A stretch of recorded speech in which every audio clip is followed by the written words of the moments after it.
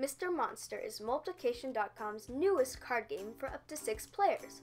In this classic game of Old Maid, the object is to not get caught holding the odd card out, but instead of Old Maid being the odd card out, players are trying to avoid Mr. Monster.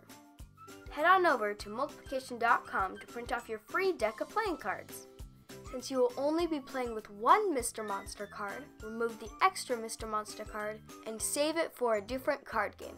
Shuffle cards and deal the cards one at a time to each player until all the cards are dealt and no cards remain in the pile. Players take a look at their cards, and if they see any of Multiplication.com's story pictures matched with the story answers, a pair is made and the player removes it from their hand and places it on the table in front of them.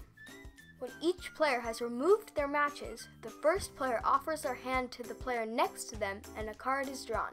If a pair is formed by the drawing of a card, the match is discarded immediately to the table. Play continues going in order around the table until all pairs have been matched, except for one without a pair, Mr. Monster. Whoever ends up with the Mr. Monster card loses. Want some other card games to play? Play Go Fish or Memory using the same deck of cards. Find more fun games at multiplication.com.